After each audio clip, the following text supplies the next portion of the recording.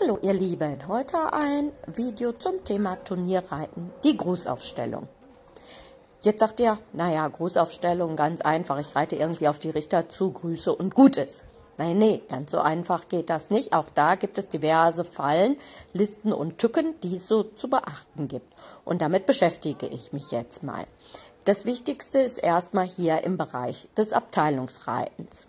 Wenn ihr in einer Abteilung unterwegs seid, habt ihr ja, wenn die Abteilung gebildet wird, schon eine Pferdelänge Abstand voneinander. Sprich vier Schritte, a 80 cm gleich eine Pferdelänge 3,20 Meter.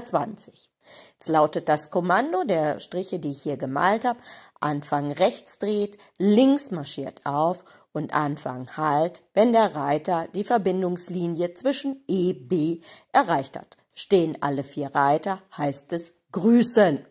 Und danach das Folgekommando heißt zu einem Rechtsbrecht ab im Arbeitstempo Trab. Seitenverkehrt wäre es andersrum. Also links brecht ab oder Anfang links dreht, rechts marschiert auf. Das heißt, man stellt sich rechts von dem Tätenreiter auf. So, hierbei ist es wichtig, dass ihr geradeaus wirklich auf die kurze Seite zureitet. Und wie ihr gesehen habt, im Tempo leicht versetzt, so wie die Striche das hier aufmalen. So, wie sieht denn das jetzt so seitens der Richter aus? Mal ein Blick hier aus der Richterhütte raus. Von hier aus kann man nämlich sehr gut sehen, weil ihr auch einen entsprechenden Blickwinkel habt, ob ihr tatsächlich gerade einreitet oder ob ihr eventuell schwankt, euer Pferd schief steht oder die Hinterhand breit steht. Ob die Hinterhand raussteht, das kann man von C aus ganz schlecht erkennen.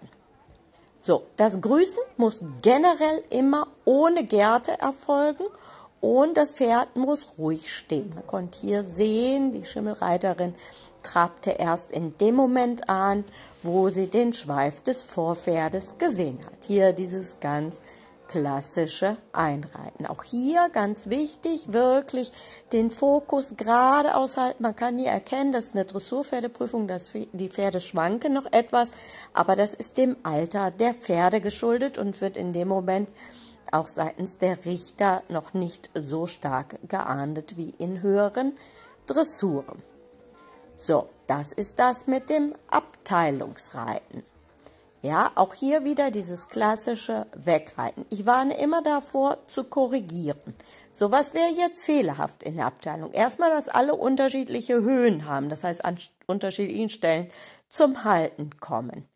Dann natürlich, wenn man kreuz und quer steht oder der Zwischenraum zu eng oder zu weit gewählt ist. Ja, der Zwischenraum beträgt 3,20 Meter und sollte erhalten bleiben. Das nächste, was auch immer häufig ist, dass die Reiter viel zu früh versuchen, sich hinter ihren Vorreiter zu hängen, um dann den Hufschlag zu erhalten. So, jetzt sind wir bei dem klassischen Aufmarschieren, was ab der Klasse L üblich ist, wenn man alleine unterwegs ist.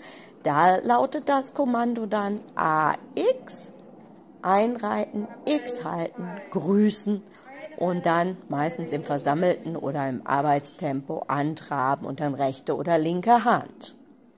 Ja, hier kommt man jetzt sehen, die Reiterin ist schnurgerade auf die Mittellinie abgewendet, kam ganz korrekt zum Halten und ist auch schnurgerade auf die Richter wieder zugeritten.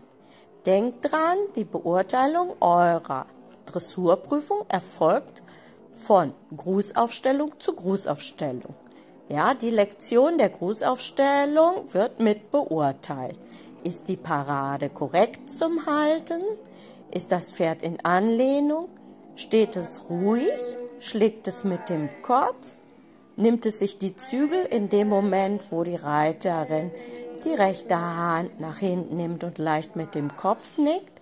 Und trabt es sofort auf Hilfe, bereitwillig in Anlehnung stehend geradeaus an? Das sind die Bewertungskriterien der Grußaufstellung. So, was man nicht machen sollte, hatte ich ja gerade schon gesagt, man soll niemals anfangen, da wild rum zu korrigieren. Wenn man einem Pferd unruhige Stehen beibringen will, kann man das so am besten dann machen. Hier nochmal das gleiche. Hier dieses etwas hinten rausstehen wird man vorne von X aus kaum sehen können. Ja, weil die Vorderbeine die Hinterbeine im Sichtfeld verdecken. Ja, ihr müsst immer denken, auch wenn die Zuschauer daneben stehen, ah, der stand nicht geschlossen, wie kann der jetzt eine 7,5 für das Halten bekommen? Ganz einfach, die Richter kann es von vorne nicht sehen. Und wenn das von vorne eine gute Parade war, das Pferd ruhig steht, die Anlehnung auch während des Grußes erhalten bleibt und das Pferd bereitwillig antrabt, gibt es seitens der Richter nichts zu meckern. Ja, das hat was mit dem Blickwinkel zu tun. Das erkläre ich euch gleich aber auch nochmal, wenn wir uns mal von der Bude bei C entfernen und uns vielleicht mal den Blick aus den anderen beiden Buden, die spätestens ab einer 2 Sterne L oder auch M Dressur kommen. Hier sind wir einmal in der Richterbude bei M. Ja, kann man sehen, das ist so ein bisschen schwierig dann einzuschätzen bei der Großaufstellung. Aber da würde ich sehen, ob das Pferd hinten offen steht. Das gleiche bei H. Dafür kann ich andere Dinge nicht sehen. Hier nochmal so ein bisschen der eingeschränkte Blickwinkel, wenn ich aus der Bude bei H mal rüber gucke. Ich sehe also nicht alles. So kommen auch so Punktunterschiede unter Umständen mal zwischen den einzelnen Richtern in höheren Klassen zustande, weil alle so ein bisschen anderen Blickwinkel haben. In Mitteltrab auf den Richter zu sieht anders aus, als wenn man die lange Seite komplett im Blick hat. So, jetzt hier auch noch wieder so ein Klassiker, das Glockenzeichen. Wenn das Glockenzeichen ertönt ist, darf ich, auch wenn ich noch 45 Sekunden Zeit habe, nicht mehr an der Mittellinie vorbeireiten. Reite ich an der Mittellinie vorbei, muss ich auch aufmarschieren. Ja, es hat die Reiterin hier sehr geschickt gelöst, indem sie vorher eine Kehrtwolte geritten ist. Ja, eigentlich heißt das Leuten, ich habe 45 Sekunden Zeit und in diesen 45 Sekunden muss ich sehen, dass ich irgendwie zum Start komme. Bin ich wie jetzt gerade so kurz davor oder es wird geläutet, während ich gerade bei A vorbeireite, dann dürft ihr eure Linie natürlich noch fertig reiten, weil so spontan könnt ihr nicht sein. Aber ansonsten gilt, die dann lieber eine Kehrtwolte reiten und das Pferd noch einmal von der anderen Seite das Viereck begutachten lassen und dann erst losreiten. So, das war's dann wieder für heute. Ich wünsche, dass es euch gefallen hat. Dann gebt mir gerne einen Daumen nach oben. Habt ihr Anregungen, weitere Fragen? Schreibt es unten in die Kommentare. Ich beantworte es unheimlich gerne. Ich werde auch noch was dazu in meinem Hufschlag-Blog schreiben und dann freue ich mich, euch bald hier wiederzusehen.